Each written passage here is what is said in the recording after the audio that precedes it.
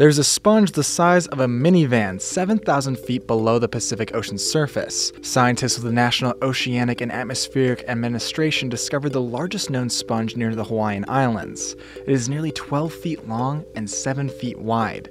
It's unclear how old it is, but other huge sponges in much shallower waters are believed to live more than 2,300 years. This massive sponge even acts as an important part of the ecosystem. The researchers say it filters large volumes of seawater and it is a habitat for smaller species. Crew aboard the Okeanos Explorer discovered the sponge and documented the find using remotely operated vehicles. Their exploration continued to a depth of 16,000 feet. Only about 5% overall of the world's oceans have been explored, so even larger sponges may exist. For Newsy, I'm Ryan Beek.